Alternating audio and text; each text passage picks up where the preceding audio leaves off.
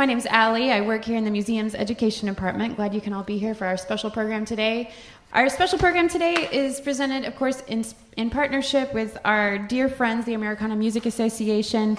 Please help me welcome Dana Strong from the AMA for just a few opening remarks.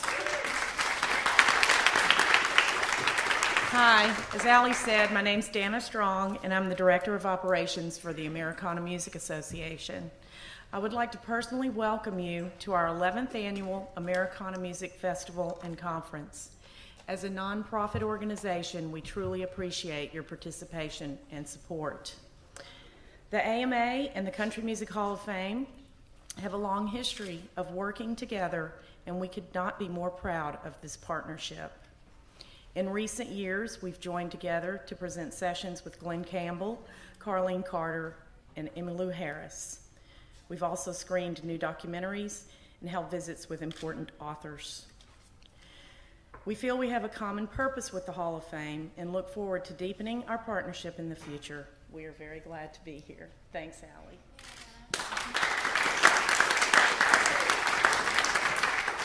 I hope you all have had a second to see the case that we have on the second floor dedicated to Americana music. Um, we have artifacts on display of Buddy Miller and Jim Lauderdale, Alison Krauss, and Sam Bush. So if you have time, take a look at that. We're very proud of it. The host of our program today is one of the world's premier music journalists. He's covered the beat for Rolling Stone magazine for over 33 years, and his writing and knowledge has been tapped for dozens of CD box sets and compilations. He's going to be the host of our program, and he's going to introduce our very special guest. Please help me welcome David Fricke.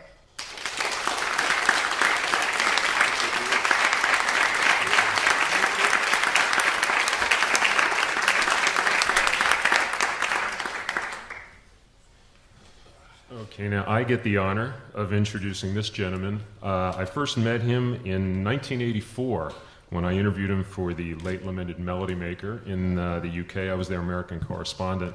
At the time, he was the singer and guitarist in the Long Ryders, the first truly alternative country rock band.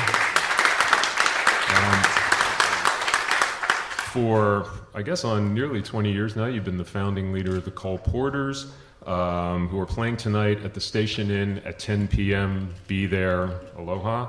Um, he is also a fantastic author. He did the first ever Gram Parsons biography, and he's got two Dylan books, including the recent Shelter from the Storm, Bob Dylan's Rolling Thunder Years, Hold It Up, uh, from Jawbone Press. Born in Kentucky, a rocker in LA, resident in Britain for many years, but he is a true American in everything he sings and plays. Sid Griffin. Thank you, David. That's very kind. Well earned. Uh, you are, as you point out in the bio on your website, an eighth generation Kent- Kentuckian. Yeah, what did the fir- what did the first seven do? I don't know the first seven. I know the first one had the immortal name Greenberry Griffin, which is the middle name of my son, uh, Noah Greenberry Griffin, which I know people think is probably a hideous name to be named Greenberry anything. But the first one came over, he was thrown out of Scotland, and uh, I think at Bayonet Point after Culloden.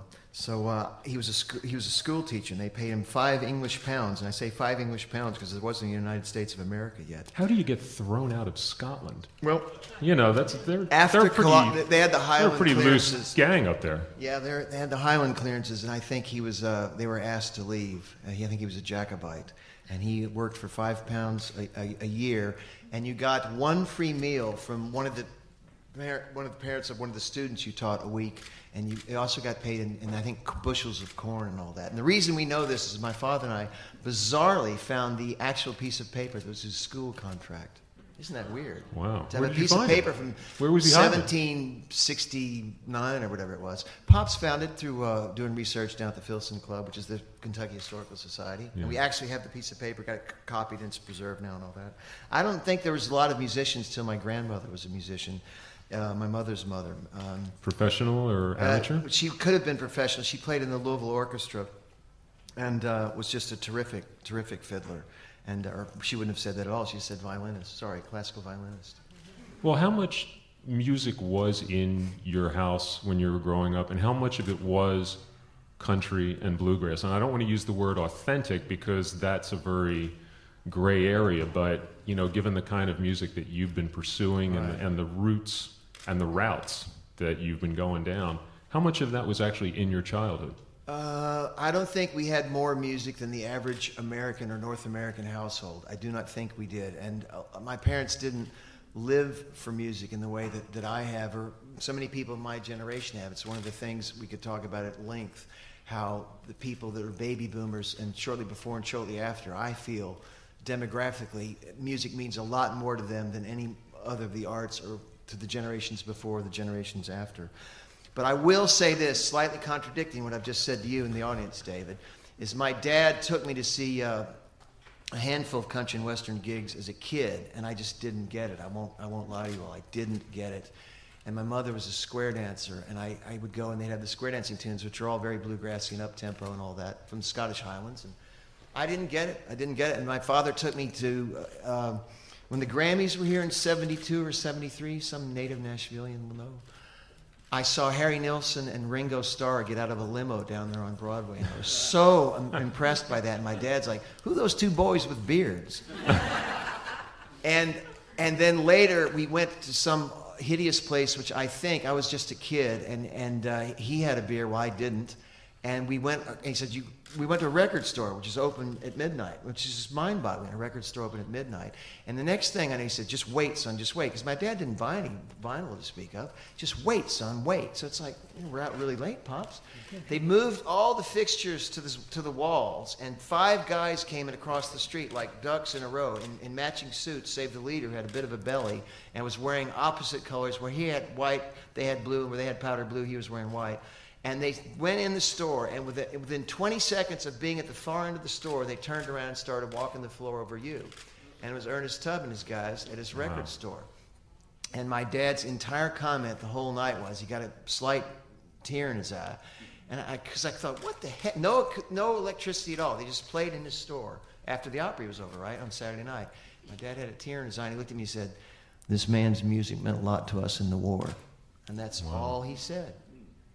That actually says a lot. A lot, yeah. Now, you actually mentioned before uh, we came on that you met Bill Monroe in 1974. Yeah. This sounds like a good time to tell that story. In 1974, uh, I had found a fellow Flying Burrito Brothers fanatic at the University of South Carolina who are beating Georgia 14 to 3 as I speak. and Steve Holland, he's now a professor at, at the University of, of Washington uh, in economics, and he was a big Gram fan. And we hit it off immediately and became very tight. And one day we were having one of these ridiculous debates record collectors have, like you and I are having backstage, batting it back and forth. And the idea was I don't find them so ridiculous. Who in their genre of the arts has, has, has founded it and dominated it? Well, you can't say really Elvis because he's not really the originator of rock and roll and he kind of got usurped by the Beatles and people like that. As wonderful as Elvis was. So we're going on. I said, How about Louis, Louis, Louis Armstrong and jazz? And he said, That's close. And suddenly we came on the idea of Monroe in bluegrass. And yes, Flatt and Scruggs and the Stanleys are fantastic. But Monroe is really the template for bluegrass, bluegrass now, so much so that it's almost retarding the music. Uh, you wouldn't want the template for rock and roll to just be the Beatles of Beatlemania. But in a way, that's kind of what's happened to bluegrass. And so we went, we, we got to go see him. And in those pre internet days, it was a bitch to try and figure out where somebody was playing if they weren't in your town. It was tough.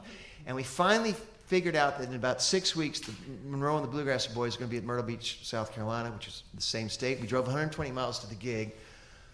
And it was so unrock and roll, it wasn't funny. It was as nice and informal as this. And when it was over, to my astonishment, and this is someone who had been seeing the Allman Brothers, Iggy and the Stooges, um, Loggins and Messina, the new Riders a couple times, another Allman Brothers, uh, Neil Young on the Time Fades Away tour. To my astonishment, I was talking to the various people as the auditorium cleared out, and my friend Steve Holland said, Turn around slowly. And I turned around, and right behind me, like I could grab them, were Kenny Baker and Bill Monroe. And they were just talking to people about, now, now what do you do to your apple pie? Now I'm saying, exactly. Now, I didn't bring a pen. Now, what do you do to your apple pie? And the, the flake is it, it, it's crusty on the flake because I got to write this down. And they're just talking to people. You know, recipes. They're talking yeah. about recipes. And when you went to see Iggy and the Stooges or Loggins and Messina, you didn't have Ron Ashton or Jim Messina after the show going, now, what kind of blueberries? Did you get them fresh? Because I got these frozen ones. It just doesn't taste the same. I Well, you might ask Iggy about peanut butter, but that's Yeah. different. I missed that gig. I missed that gig. People wanted to go. July 14th, 1970, Crosley I Field. saw it on television. I know. I, On- I was going to go was- and miss the gig. Anyway, we get, we're we Sorry. digress. Do y'all know what he's talking about? The peanut butter and Iggy. Okay.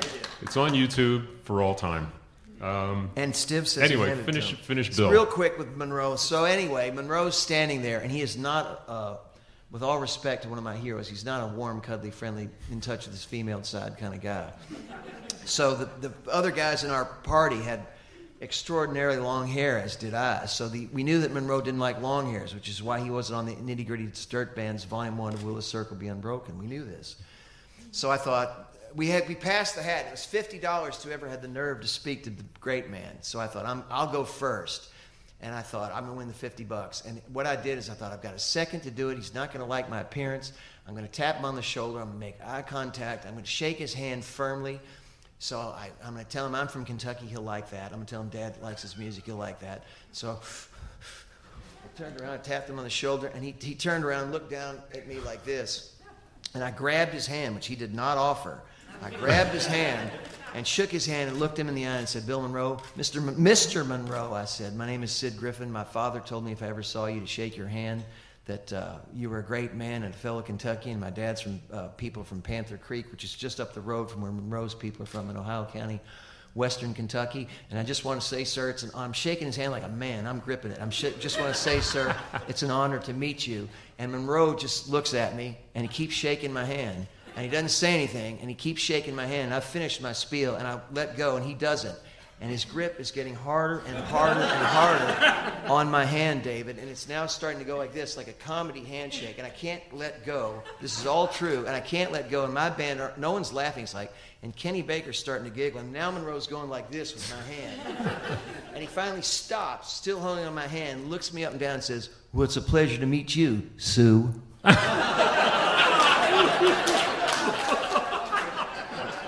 And Stephen Holland to this day says, Hey, Sue, what's going on? His emails. the next time I hear a boy named Sue, that story's going to come to mind. Um, how, when you were listening to the Beatles, the Stones, the Buffalo Springfield, when you were growing up, Yeah. could you, and Bob Dylan, could you hear any of the roots and branches of the music that was part of Kentucky, of your family growing up? Did you recognize any of that at the time? Uh, that's a great question. I don't know that I did at the time, but shortly thereafter I did because I was one of those people, I dare say, like yourself and like many of the people here, that looked at songs on, let's say, a, a Rolling Stones or a Byrds album and saw that there were names in brackets, and I figured out that that meant who wrote the song. Um, and I figured out that two point two with a colon eleven was the time of the song and all that. And then there'd be songs by the Stones or whatever that didn't have their names behind it. Yeah. So I would figure whoever Jay McShann was, if he wrote "Confessing the Blues," maybe he sang it.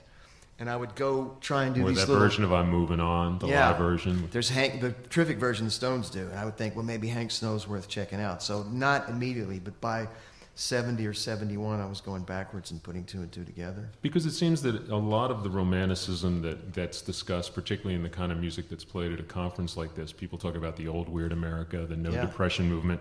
In many ways, it's almost like a wished for history. I remember agree. talking to Jeff Tweedy about growing up in Illinois, and there was some country in his background, but a lot of what got him as a kid, you know, or as a teenager, was Husker Du. It was the replacements. And Alison Krauss told me when I interviewed her around the time of Raising Sand that, you know, when she was winning fiddle contests, what she was really doing in between time was listening to Def Leppard and Led Zeppelin.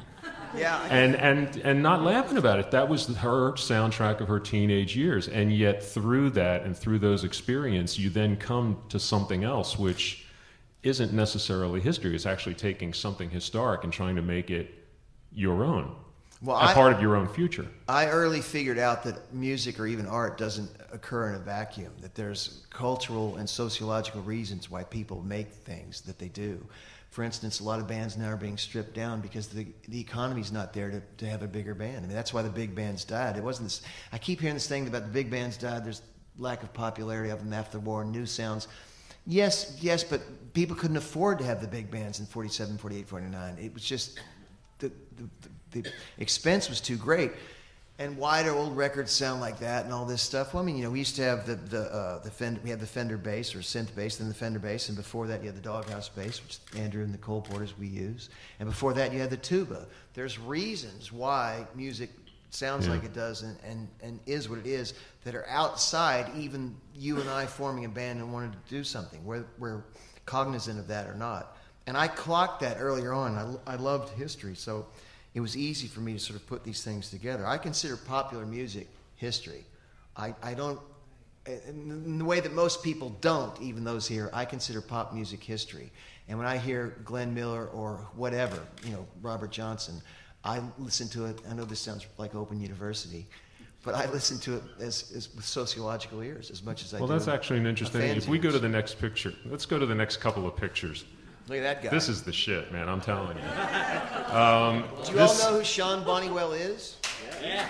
Talk, talk. Um, I actually saw the Unclaimed, and I believe actually it might have been after you left because I think the Long Ryders Yes. were on the bill, and this was at the Music Machine in L.A. we were. And I actually remember talking to Shelley Ganz at one point because I did a story about the Garage Revival. The thing is that's interesting about that band is that i- this version of history is very much the dressing up. It's very much putting on putting on the period Yeah. in a very physical way.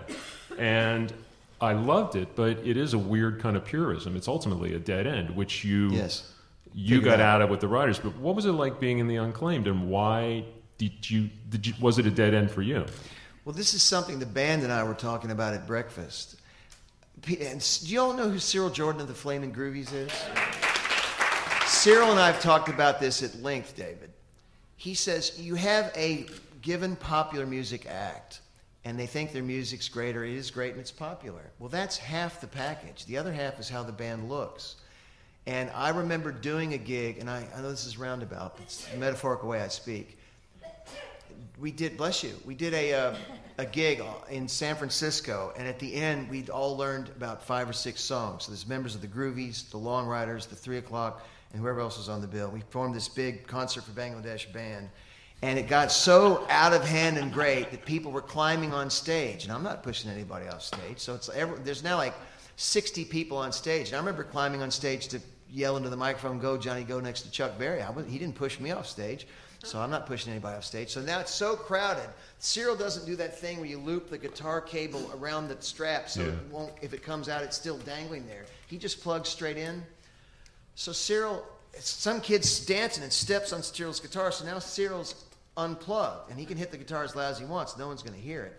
And Cyril stayed and he saw it and went eh, and stayed in this rock gut and kept doing it. And after the set, I said it was Street Fighting Man, and, and that was the final song of the night. I said, Cyril, at the beginning of Street Fighting Man, your uh, cable came unplugged from your guitar. You were silent. And he said, and he said, why didn't you stop and do something? Or whatever? You can't hear you. He said, half of rock and roll is visual, and I'm visual.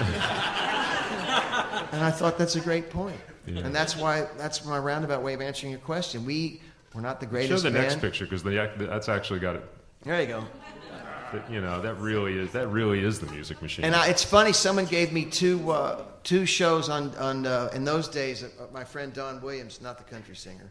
I've got friends named Skip Ewing, Don Williams, and Gary Stewart. None of them are country singers. Yet all three have an alter ego with that name that's had hits.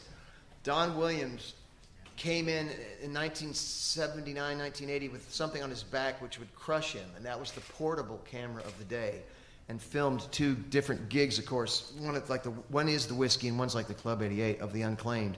And I was really proud of the following. The band played really, really well. I played a psychedelic guitar. I don't mean the doodly Grateful Dead sense. I mean in the more concise love sense. uh, L.O.V. Arthur The Lee. Johnny Echols. Sense. Yeah, Johnny Echols sense. Well said. And we looked great. However, the singing was uniformly horrible. I mean, Shelley, who was my, you know, I, I, I love Shell, the guy in the middle, but he was like a 300 pound Joey Ramone. He looked great, couldn't sing. And Barry and mine's backing vocals are like cats mating. I mean, it's just, it's horrible. At no time did anyone sit us down and go, you go, ah, and you go, ah, and you go, ah. And that's a harmony. It's just like, ah. And I was just, the instrumental passages, we looked great. I thought, wow, you could sell this. And then all of a sudden, the vocals come in, and I think, no, you You can't selling none of sell that. that. Well, how much of the Long Ryders and we can bring them up because they were actually a great garage looking band too. How much of the Long Ryders was a garage band? Because I remember seeing you on that night and thinking, it's different, but it's not out of place. Well, the when we formed the Long Ryders, it was just going to be another LA band, whether I want to admit that or not. And when the guy on the right came in, the, the good-looking guy in the picture with the the, the, the Toreadors jacket, uh, the Jackson Browne look-alike, he had this. He was from a country and western background and never liked playing "Smash It Up" by the Damned, which was an encore we did. Never liked playing "Looking for Lewis and Clark," but would do that in order to let us do his thing, let him interject his Clarence White brilliant guitar licks. In fact, Hillman, we, we backed up Chris Hillman at some benefits, and Hillman told me and the band, he said, Stephen McCarthy is the only person ever I've heard play Clarence's lines right on songs like Have You Seen Her Face, which we did mm. with Chris, that, get it, that gets it right. And I've played with all sorts of top dogs.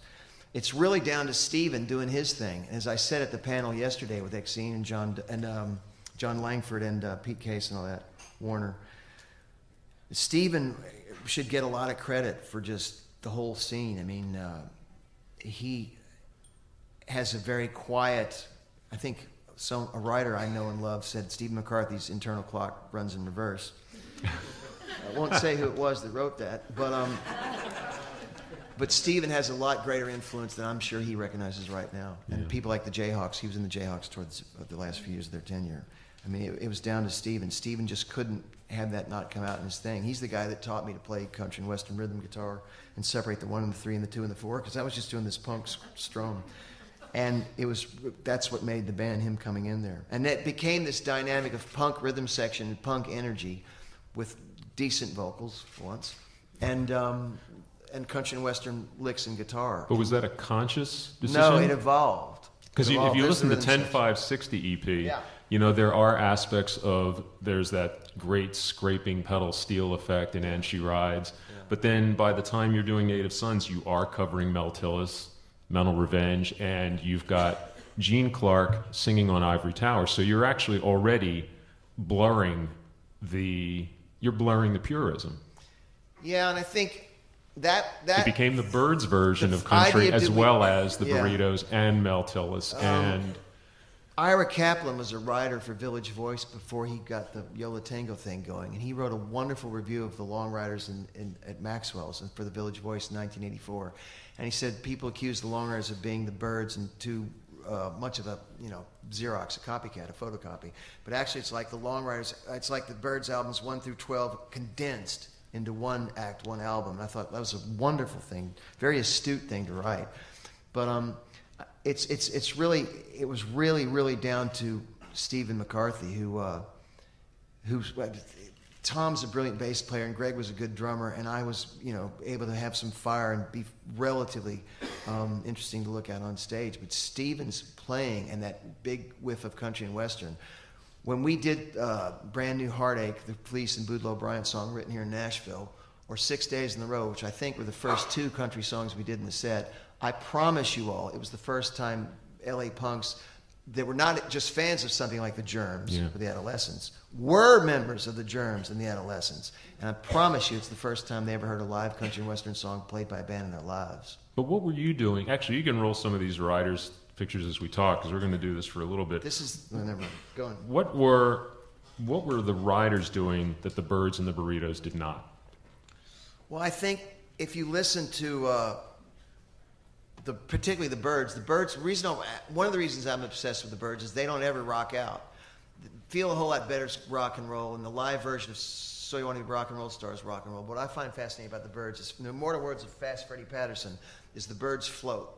Yeah. The Byrds do not, they're not ACDC or the Stones, and they don't want to be. They, at their best, they float in an ethereal They're like manner. birds, they hover. Like birds, they hover. They're like a, they're more of a helicopter than a, than a rocket. And they hover, and they just, there's just something beautiful about the, the way that they exist in a sort of transcendental way. They do not want to rock out. They're not a leather jacket band. They don't have songs full of misogyny about women, and they don't sing about cars. I just found that absolutely fascinating. Well, actually, so much of what they wrote had a lot to do with the way they sang, which was that Yeah. effortless gleam. It was almost like you know creating a, a sort of oral version of light. And of course, the irony with all the Southern California bands, which are so brilliant with harmony, for instance, the Byrds and the uh, Mamas and Papas and the Beach Boys. Forward to the Bangles, who had terrific harmonies, as I could tell you firsthand because they rehearsed in the living room.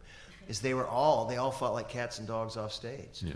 It's just the weirdest thing. Dare I All- mention Buffalo Springfield? yeah, the Springfield. All those harmony bands were the least harmonious people off stage you've ever heard or met in live. It's just, it's just one of life's great ironies. What was the other one? The Burritos. The burrito, yeah. Well, the Burritos thing, it's the last time Hillman ever went for ragged but right. Chris Hillman since then has uh, made some terrific records, but they are they have the polish and the professionalism on them. And with Gram in tow, it was ragged but right, and I, I really loved that. Why do you think that the Ryders really impacted initially in Britain? You know, you got Jake Riviera, uh, his label Demon, picked up the 10560 EP Yeah. first before anybody. And then you got signed to Island Records by Chris Blackwell, which made you, at that point, bandmates with U2 and Frankie Goes to Hollywood, Yeah. which I found really um, You think you counterintuitive. I don't know. But what was it that Britain got that America took either longer or never really Well, the- Nailed. the problem is America's such a big country; it takes so long to break. The Tom Petty and the Heartbreakers did it just a few years before us. They became stars in England relatively quickly with the first album. It's on their DVD of that box Yeah. set of whatever it's called. I can't remember what the Petty box set's called. Anyway, and then they had some stardom in England. Then they came back and were just dying when the Heartbreakers toured America. It was just really hard on them. And I, I remember seeing him in a shopping mall once. yeah, In Well, I- '77, it was a club in a, it was a club in a strip mall. Pete Case was talking about seeing him at the Whiskey. I saw him at the Whiskey, and I think the opening act, uh, it's a long time ago, something like Blondie or something. It's incredible bills for like three bucks and 50 cents. Actually, he told Petty told me that he did a bill. It was him and the Heartbreakers with Elvis Costello and the attractions. It was a dollar to get in, and they didn't sell out. Yeah, yeah, sure. I don't know. I mean, it, it, when I, this is name dropping, but when I lived with Eric Burdon, the singer of the Animals, he told me, I said, That's pretty good. Yeah. He told me, well, he was in Southern California not because he loved me, because he had bad asthma. So he would go to the desert and he would come back to Hollywood to do his business, breathe the horrible air, and then have to go back to the desert. So the great Geordie told me that, um, I said, why was war, you took the guys out of war and based them in London? He says, because we were playing Ronnie Scott's, and I realized if we wowed them at Ronnie Scott's in London, it would happen a hell of a lot faster for us in England than it would if I took war and kept touring around uh, the United States forever. So that, in the United States, in, in the defense of the Long runner's humble career, we were huge in certain pockets, and then in other places we couldn't get arrested. But in Britain, where you have national radio, I say the BBC, which is very important, once an Andy Kershaw or a John Peel is playing your record, you've uh, not saturated the market, David, but you've touched the market, Yeah. which is a huge. People are always asking me the differences between England and America. It's just holy cow, and that is certainly one of them. If you've got something to offer that is unique and someone wants to make you known to the public, it can happen a hell of a lot faster than the UK than the USA. We're just too big and too diffuse a country. Give me a classic Ryders road story, something that sums up what it was like, you know, both the hell and the heaven of being in that band in that particular period. There's got to, you know, something that just gives a sense of why that was Well, such a special I'll tell you five, too. I'll tell you too, and I will be quick this time. The- we We'll played because WXRT in Chicago was playing our record. We sold out a 2,000 seater called I think the Metro. Anybody from the Windy Yeah. City? And had one of the greatest nights of my life. Just on people knew the song. You'd start da da da da da, and they get that applause. you start a song, play the first two bars, and people go ah.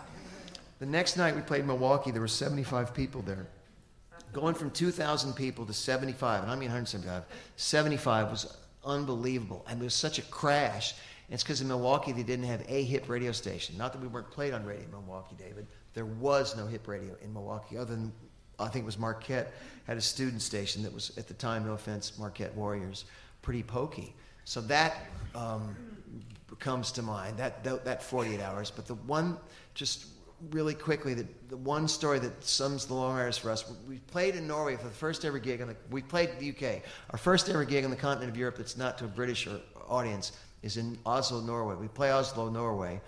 And I don't know what goes on in Oslo, Norway after the gig. I mean, these people, I heard they invented sexuality. Would they have some kind of orgy or something? Where are we going? so the gig's over, and I don't know what the hell's going to go on. I don't know anything about Norway. I didn't know that it's like five English pounds, or i.e., about nine American dollars for a beer. I didn't know any of this stuff. I didn't know anything. And they said, You're going to be interviewed by National Norwegian Radio, our most famous DJs coming in here. And I'm so excited. And then they said, His English is really, really good, so don't worry about it.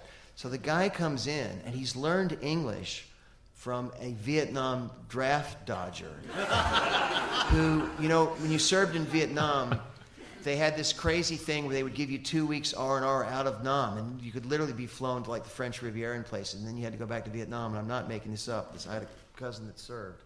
And people would say, well, I want to go visit Uncle Hank. If you had served a distinction, you could say, I want to go visit Uncle Heinrich in Oslo, and they'd let you go. So some draft dodger, excuse me, not draft dodger, deserter from the U.S. military taught this guy English, and the writers are all excited to be interviewed. We, have never been interviewed by anybody that wasn't an English-speaking person because it's the states and the UK. You got that? So this is the first time a, a, a non-English-speaking person is going to interview us, but it's okay because he learns English. He learned English from a Brooklynite who lived off Flatbush. so this guy comes in, looks at me, this total Viking blonde-haired guy, and says, "Hello, I'm you know Hans Finn, but going to take you the Long Ryders." And I was talking to Jerry Lewis. And I just, and, and I don't want to laugh. You know, I thought we're Americans. They hate Ronald Reagan. They're going to love me. They hate Ronald Reagan. We're going to show them the warmth and depth of America. I'm going to be a And you're talking guy. to the nutty professor, yeah, right? and this guy kept going, What is it like to be the leader of the Paisley Underground?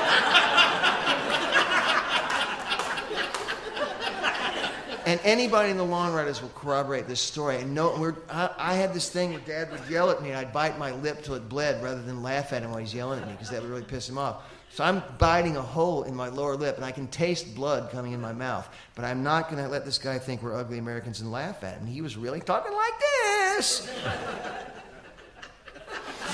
It's, I, I know that would be surreal like, enough to scare me off music for life. It is. It's not an after dinner story. It's the gospel. And, and, I, and I, I just thought, and so they're going to put this guy in the air, and then we're going to have people walking around Trondheim in the Arctic Circle Hello, I've been learning English.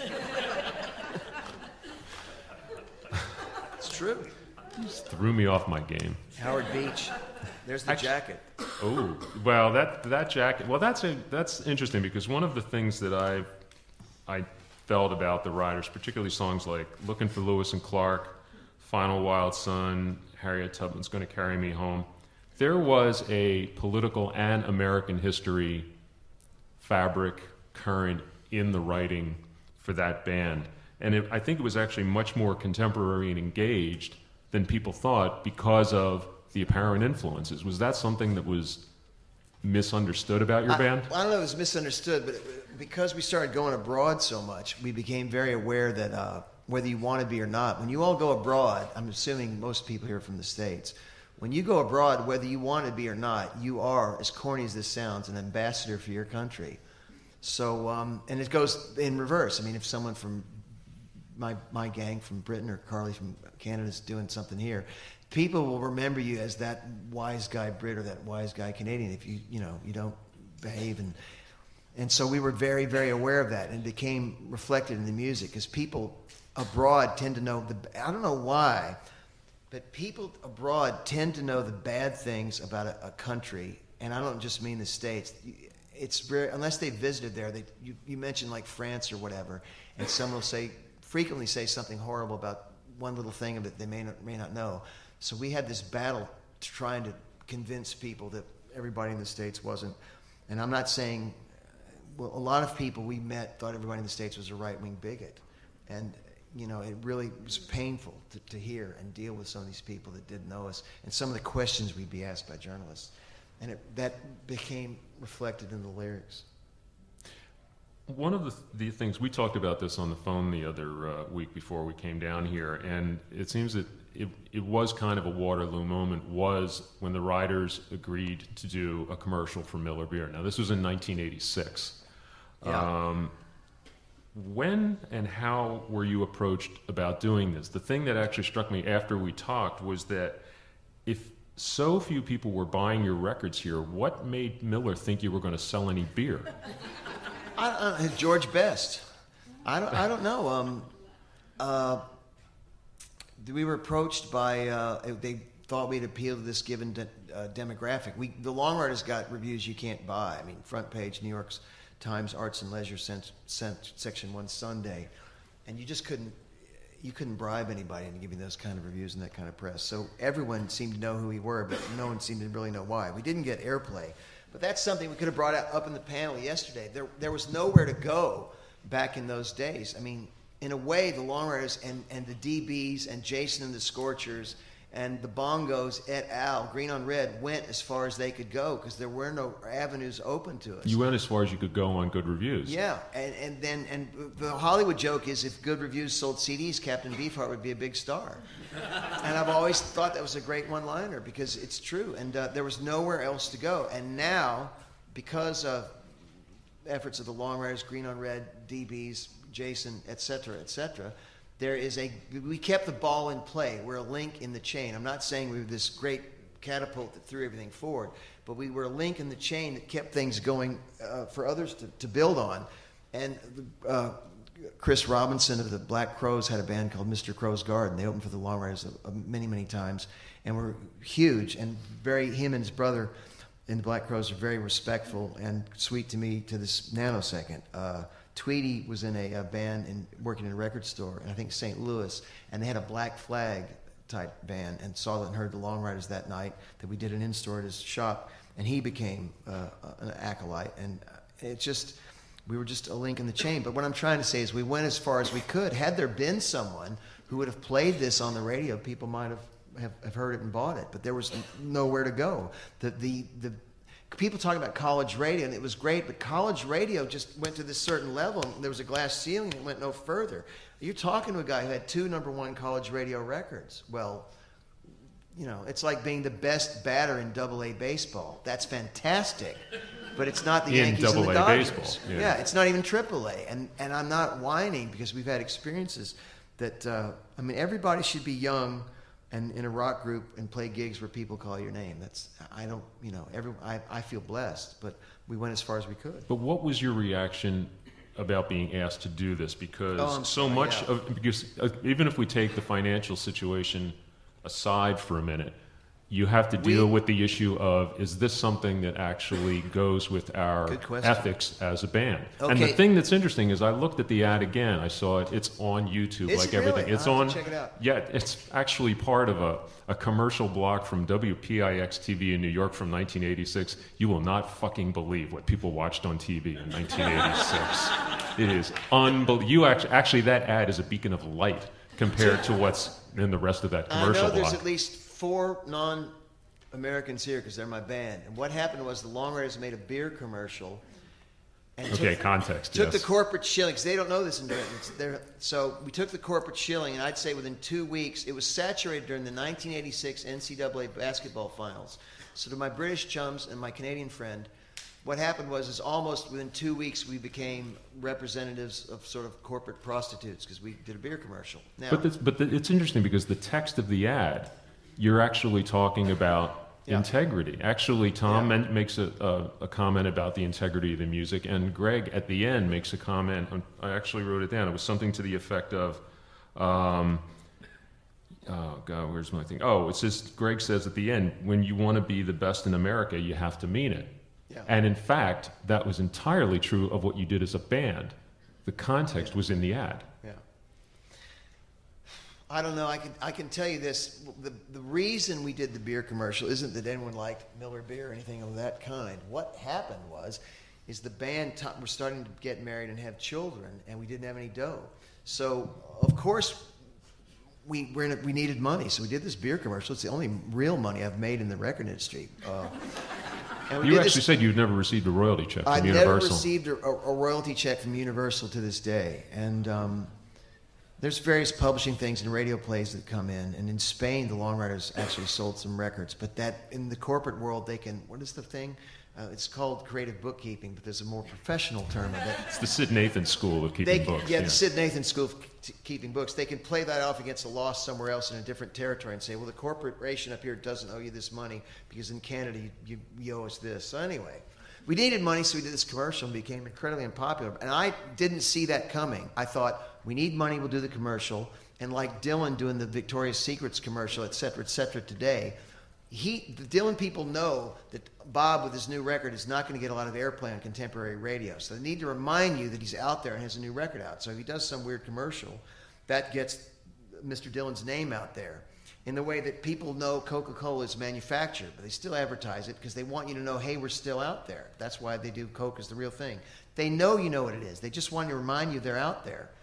So we did this commercial, and it was other bands like X and the Blasters did commercials, but weren't crucified because they weren't popular commercials, so no one saw them.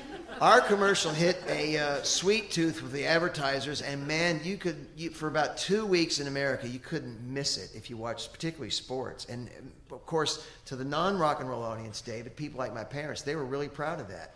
The, hey, the boys on TV again, and it was, and so it was really hard to explain to people outside the industry that no, it looks like we've made a horrible mistake. I thought we'll get a paycheck, great and we'll get an announcement that we're a band and we have good sounds. Now check that was out. an interesting thing about the ad too, because at the very beginning, at the bottom, there's a script that says "The Long Ryders, Los Angeles, California," and when you think about how many celebrities now do ads Yeah. without their name on it, they just sort of appear and. People assume that they're famous, so I guess you recognize Beyonce because she's doing lip gloss or some shit. But you guys put your name right there, where you were from. It was, it was not treated as an embarrassment. No, I, I didn't. But you have to remember, you're talking to a guy who didn't think it would backfire. I didn't realize that I was the country rock Joe Strummer that I was. I know that sounds stupid, but really, and I really hurt a lot of people's feelings by doing a beer commercial who thought I was a sort of a Joseph Stalin forward slash Joe Strummer figure, and now look, he's taking the corporate shilling. Do you think you took a bullet for all of the people that now discuss like who want to be licensed, who want to be on CSI, who want to be on television? In a way, I think it's beyond. That's the kind of con- those are the the way kind of discussions that are going on this weekend. In a way, it's beyond irony because now we live in a world where Rod Stewart and the Rolling Stones go out on tour and they have corporate sponsorship. Does anyone really think the Stones and Rod the Mod need corporate sponsorship to get their message across for their tour? So, yes, is the answer. In a way, we took a bullet. It's just the height of irony. But even beyond the Stones, you have a situation where for artists trying to be heard, trying to be seen, you know, I get zillions of email publicity releases in which people extol the virtues of these these artists by saying their music was used on, you know, CSI Miami. Yeah. I don't give a shit. I'm interested what what can you do? And yet that has become not only a, a lifeline, but it's become a it's almost like a badge of honor. yeah. When in fact what you did was get put up on a cross and then somebody threw burning oil on it.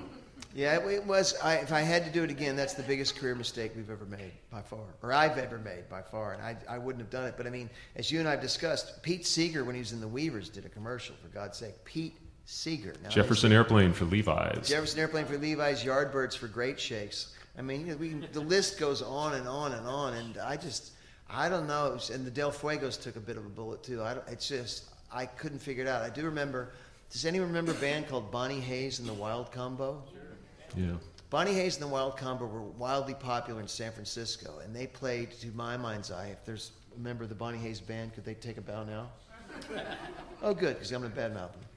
Um, they had a, uh, a, an album cover. I was in sales at a, at a major distributor then, and they had an album cover, which is them going, and there was confetti and balloons in the air behind them, and it was selling really well in San Francisco. And I just felt it was superficial. Nothing against them personally, but I knew we'd hit rock bottom when they were. It was one thing when Dave Marsh and C.M. Young are writing articles about Sid Griffin's what a rat. We thought he was a great guy, and he sold out. I mean that hurt.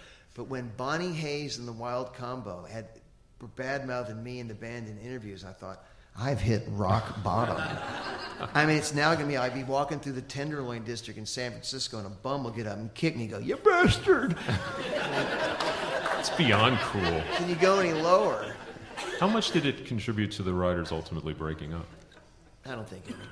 I mean, you know, Blackwell thought it was a great idea. I mean, I, I, I adore Chris Blackwell. I mean, I was thrilled to be in the same room with him. He, he'd done so many great records, and from Gimme Some Lovin' and to all the way to, from Spencer Davis, to, well, the reggae ska days up through Spencer Davis Group to Bob Marley. I, I adored being with him.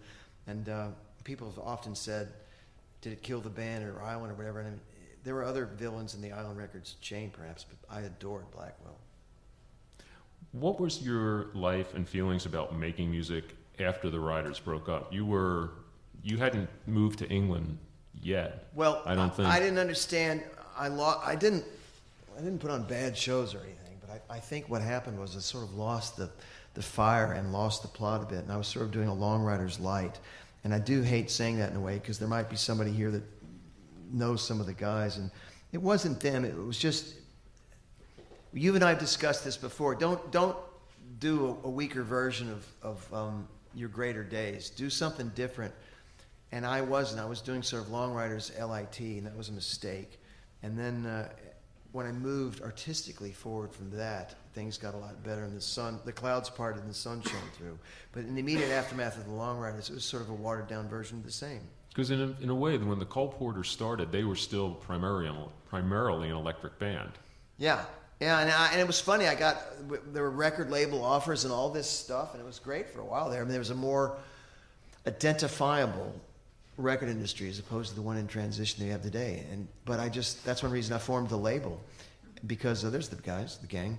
The, that's the reason I formed the label, and is uh, because I realized I could do it as well as some of these independent people. I know that's a horrible thing to say, and some of them it just some of the bigger independents weren't better than the majors 20 years ago, so that's why I formed the label.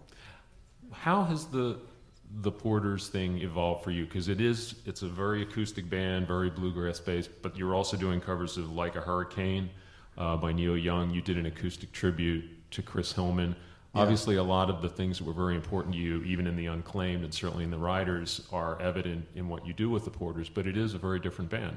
Well, the, or this is and a great band. Be there ten o'clock tonight. That's Dick Smith on the banjo, Carly on for Carly Frey on the, the fiddle. That's uh, myself looking more and more like my father every day in the middle. That's Andrew Stafford on the bass, and that's Neil on guitar. On the right, Neil Herd on guitar, and um, I think I produced an album for a band called Lindisfarne, who don't mean much over here, but in the UK we're, pretty darn big. And I produced an album for them, and they were playing just acoustic music. They had a, a small drum kit on some of the set, but I just thought it was time to make a change and to do something new. And then I saw, also it was cemented for me when I saw End of the Century, the wonderful Ramones documentary, and Johnny Ramone started talking about um, you know, when you hit your 40s, 40 to 45, and you're still playing electric rock and roll and lugging an amp around, it's not too dignified. And I wish he hadn't said it because I went, ah! You know, it was a real epiphany, lighting the road to Damascus, and I thought he's right. And the interesting thing about this wonderful band that I'm very, very proud of is that with this kind of music, it, it, it can grow and it can morph, and it's not stuck into uh, this sort of post adolescent band that so many people keep 4 4 rock and roll in. The other thing is, I notice in roots music, and this is a horrible thing to say, but I will say it out loud. In roots music, you can be pretty strange looking and no one cares. in pop music and most rock and roll, you have to be some conventionally form of either pretty, attractive, handsome, or hip. And in roots music, no one cares if you're skinny as a rake and look like you're on crack. No one cares if you weigh 400 pounds. No one cares if you're bald or if you have an unhip shirt on. In, in like real country and western. Actually, you just described screaming trees. Yeah. so I have. Real and, and I like that band a lot. Blues, you know, roots musics, they don't care. The idea is one thing. Can you deliver? Do you deliver musically? Do you move us artistically? And I thought that's for me. I really like that. Are the Coal Porters truer See, to your Kentucky my roots? not changed. Look at that. Remember the rebel flag thing? It's the same thing. It's a little Pete Townshend, looks like, actually. Looks like Marty Stuart meets Pete Townshend. Look at that Are the Porters actually more true to your Kentucky roots if you were to sort of like well, trace yeah. trace the path. Uh, yes, but I don't almost want to say yes publicly, David, because it's sort of a not too late. Yeah, the uh, you got to remember that, and here's the difference between America and Britain. Although in Great Britain and France and throughout Europe, people are complaining about immigrants. They do not have, on percentage, the amount of immigrant influx that we've had in the States. It's four times what Britain's had per capita ours is. And I don't want to lose all my friends here, but I, am not an anti immigrant person. And I believe that one of the strengths of this country is the immigrant influx. With, without without the outside influence of other cultures, we wouldn't have the United States or Canada or Australia. Those kind of immigrant nations are, are super important. Well, without your eighth generation grandfather, yeah. you'd still be in Scotland. Yeah. And so the music that we play is indicative of that. And I've let hurt some people's feelings sometimes in Kentucky when I've said, well, yes, it's Kentucky-ish music and all that. But if you, you take away the west of Ireland and the Scottish Highlands, you don't have a coal Porters. So, and, and the great maritime fiddle tradition of the uh, eastern provinces of Canada, you, you don't have a Coal Porter. Is that you, Carl? You don't have you don't have a Coal Porters. So the answer to your question is yes, but I have to put in that uh, what is the word caveat? Caveat. How do you spell, pronounce Caveat. it? Caveat. I have to I have to throw that in as well. Do you do any uh, Shows? rider song? Yeah, well, not Yeah. enough in America actually. Yeah, thanks. Um, how much Ryders music do you incorporate into the Porters? Uh, I, I've been trying to do at least one song at most of Long Ryders songs at a Coal Porter show so people can make the connection. And to this day, I still have people come up and put two and two together that I have a new band, that the Long Ryders don't exist, that I live in England to this day. And I just, so yeah, I, I try and mention the Long Ryders once, which I'm sure uh, Dick, Carly, Neil, and Andrew don't want to hear. I have to mention sort of once on stage. I want to make that connection that yes, it's me. And because we had a lot of wonderfully loyal friends and fans out there, and I want them to know I'm still out there making music, and I'll, I hope they'll give it a listen. I mean, this to me doesn't sound like the Long Ryders at first listen, but if you listen to it, ladies and gentlemen, it has the same beating heart underneath the, the uh, breastplate as the, as the old band did. I promise you. It now has a somewhat Celtic forward slash Cornwall forward slash Canadian forward slash Yorkshire tint to it, but it still has this same, you know, beating heart. And I'm always let down when people say things like, "You don't have drums in your band." It's, it's like, you know, we don't have drums in our band, but I promise you, we rock out. You have my word on that. The band rocks and kicks ass. It's a different kind of ass being kicked, but it's it's it's still it's still ass kicking. Now you are also here as a celebrated author. Show your book again. Yeah, man. Don't, you know. Which book, Don't be David? shy. I've written so many. Oh, we'll start with that one. Shelter from the Storm. Um, and you wrote the first biography of Gram Parsons, and I believe it was actually while you were still in the Ryders. I think I wrote that when I was in the Unclaimed, going into the Ryders, and uh, it came out, and the publisher really kind of took a lot of things out of it. So it's mainly just the interviews and some some essays, but I'm still proud of it. Know what Jim got you- Lauderdale's got But what got you started on that? Because that was actually that was written at a period when many of his original records were out of print. This was pre the reissue boom When- on CDs. I, I think the one thing that may be on my CV when I die is he helped. I don't know. He helped Emmylou repopularize Gram Parsons, and I'm sort of scared of that. I'd like to be known for something more than that. But it is true. When we first started doing interviews, the only things people would say they knew Alex Chilton, they knew James Brown, and maybe I don't know Nick Drake or something. And we, I would say Gram. Par- they would ask, well, "Who do you like to listen to?" Or whatever. I'd say Gram Parsons. They always thought it was Graham Parker, and I love Graham Parker in the rumor. Um, but no, it wasn't Graham Parker. We had to explain who it was, and I now feel like, um, you know, the Parsons family owes me a small check. Gram's, you know, the Gram reissue of GP with Grievous Angel, Yeah. year in and year out for um, was it Warner's? That's one of their top twenty CD reissues, even though it's ancient. And um, I, I think I had something to do with that, if you will. Well, what did you learn about writing about music, about biography, criticism, language, approach to your subject in doing the Parsons book before you started doing liner notes, compilation stuff, and then ultimately the Dylan books? Because the Dylan books are very different from the Gram book. Well, I learned I don't like asking people about their private lives unless it's germane to the issue. I don't ask about drinking, drugs, and stuff like that. Now, if someone has had five divorces, it's obviously been reflected in their songwriting at times, or it should be. You think that'd be enough subject matter? And I'll ask them, but I do. I've realized I couldn't be a day-to-day journalist, and I certainly couldn't be some sort of. Um, I couldn't write some of those harsh books like Albert Goldman's books about uh, Lennon and all that because I just I can't. I feel it's none of my business. Now, when it's germane to the to the issue at hand, I can ask, and I will. But that's something I've learned. And And if you're choosing to write someone's life, Yeah. then it's life in all of its glory and flaws. and everybody's got a good side, and even some of the greatest musicians I've met and I've worshipped, I've seen have had some bad sides. And in, unless it's something like they sell crack cocaine to small school children, other than things like that, I don't really slight them for it because a lot of people have uh, thrown away a good marriage, and a lot of people have spent the family money, and a lot of people have drink and drugged. I mean, if I was interviewing Scott Fitzgerald, I would have to ask him and Zelda about the drinking. But had it not been reflected in his career and in his art, I would have never brought it up. So that's something I've learned.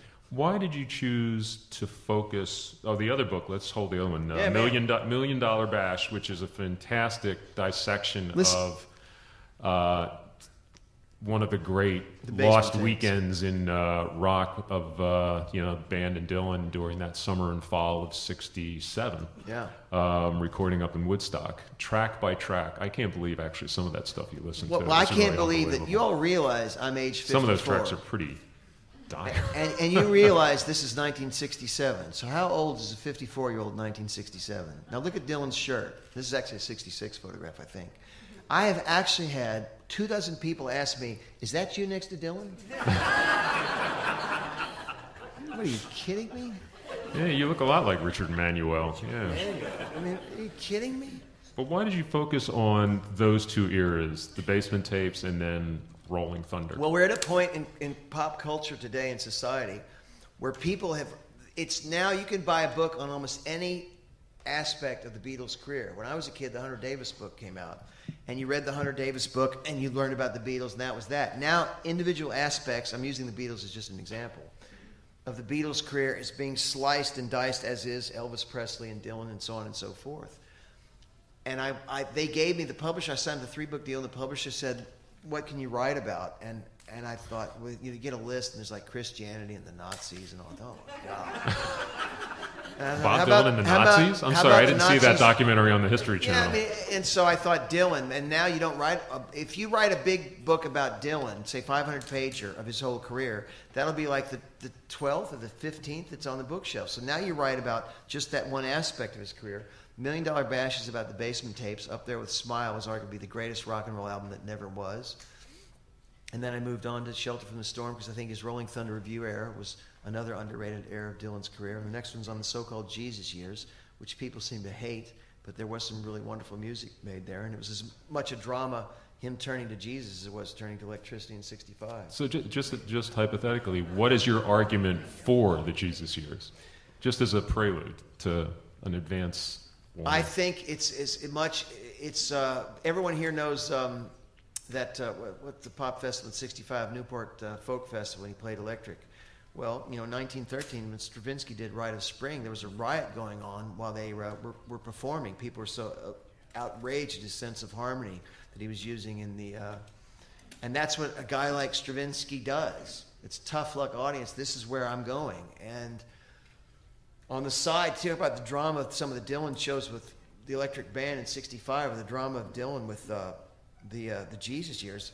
Stravinsky had several guys on the side counting, clapping, and counting out the beat to people in the orchestra because the boos were getting so loud at, at the performance that the musicians were losing their way. But this is what a real artist does, like Dylan. Dylan, to me, is, is, is an iconic figure. It's, he's not just a great songwriter. Look at him like a painter. And the way Picasso has five eras of painting, Picasso has a blue period and a cubist period.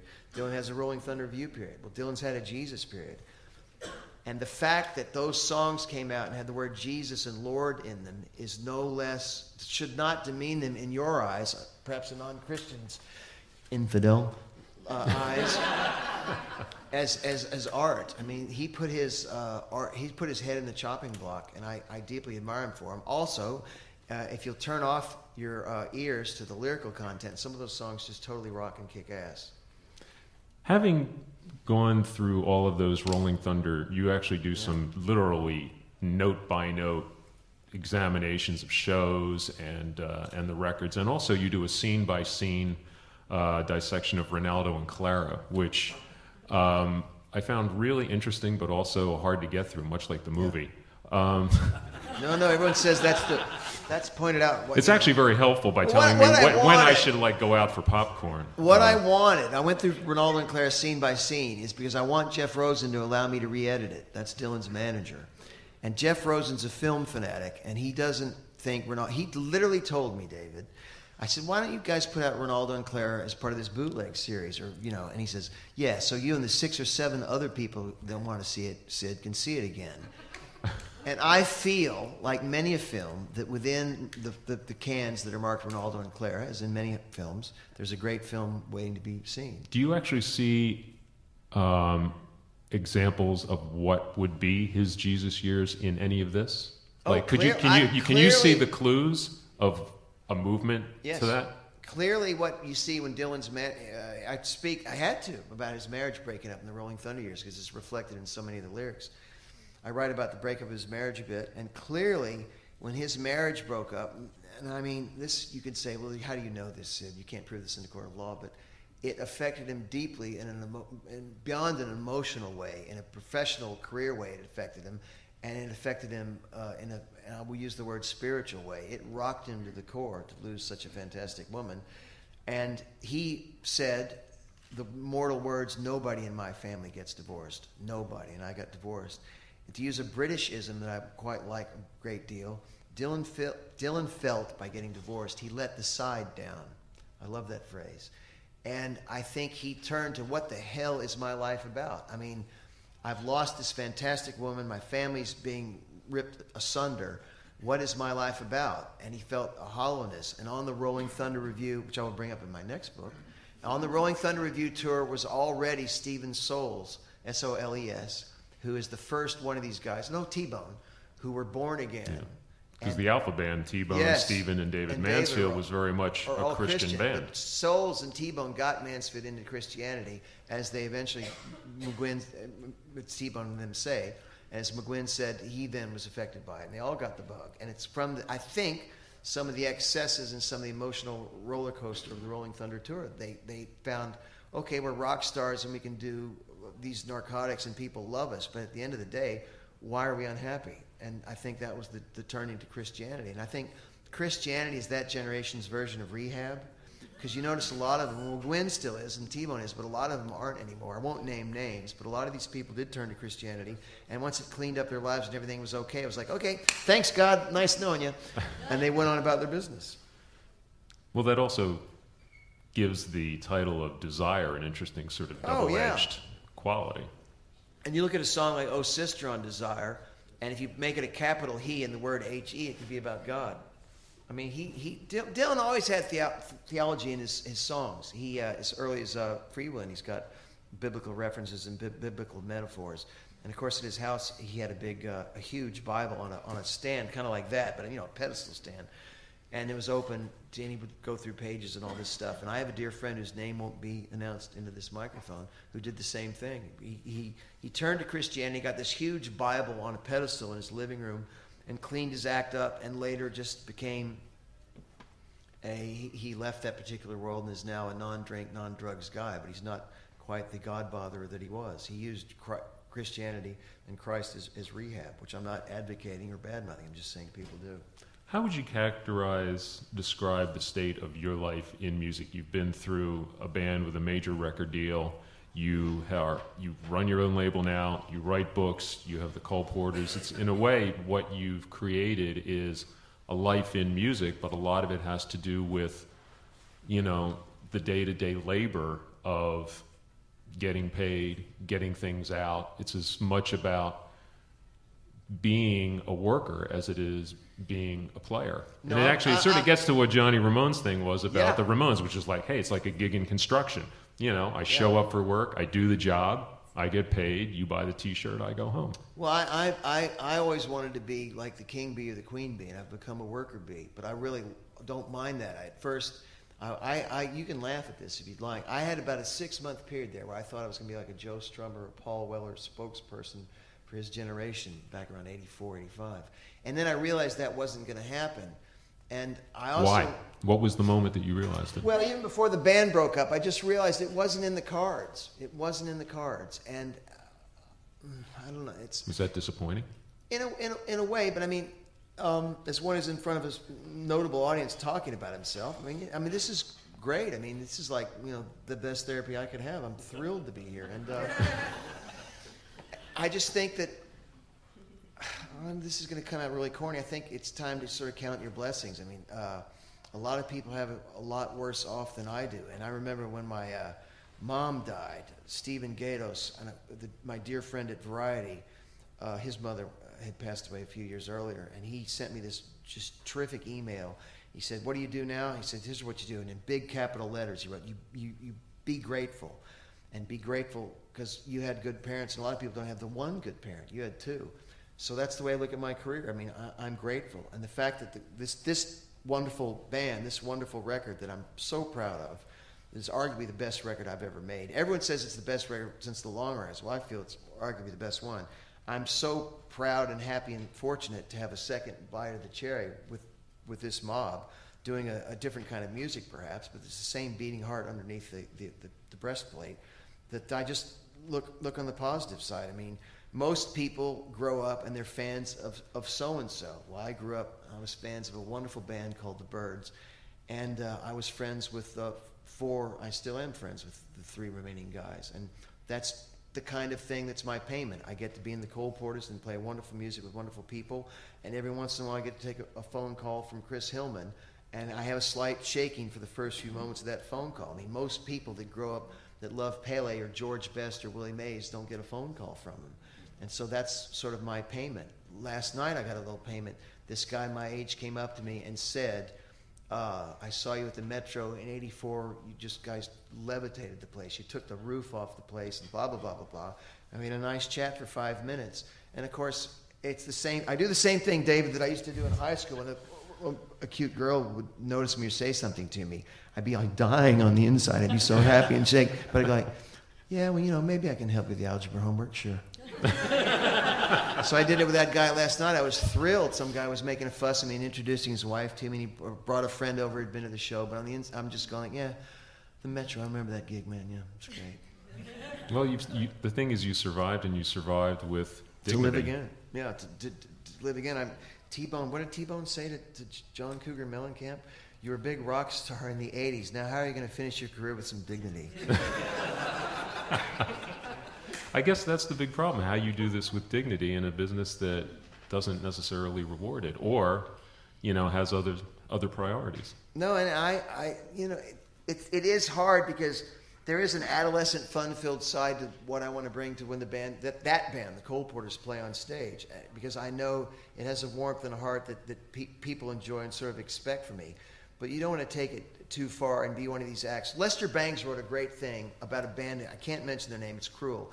But he wrote, why don't they, why don't, I'm paraphrasing, but you'll remember the article. Lester wrote, why doesn't this band change its name to Send Money? Everything about them, the way they've been put together by a corporation, the way there's nothing organic in the way they met each other and decided they'd make this kind of music, the way they've gotten attorneys, the way they've got the, the, the, the sexy babe out front, the way this is that, why don't they just change the name to Send Money? Why, why should any of us in, in the rock and roll hierarchy, those that are getting free records like myself, or those people that re- are reading this copy that I'm typing on a manual typewriter now that are working as plumbers or is working as assistant uh, uh, paralegals at some law firm, why should we send these people money? And I, and I don't ever want to be in a band that you all would think is called Send Money, ever. It's never happened. It never will. Sid Griffin, uh, Thanks, David. Shelter from the storm. Come on, shout it one more time. He's going to be he's going to be signing books. Cole up Porters, there somewhere. Please, Coal Porters tonight at 10 p.m. at the station. Please come up and say hi. The, uh, um, and we're just going to walk you off the floor with my favorite Long Ryder song. Hit hit play. Yay! You all realize Castro heard this song, right?